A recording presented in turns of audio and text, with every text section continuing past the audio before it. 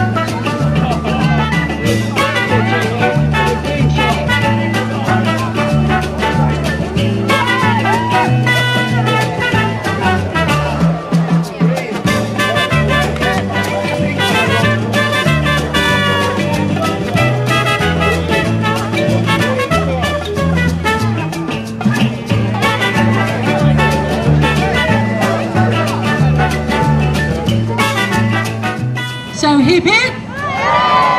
Hip hip? Hip hip? Have you had a great time?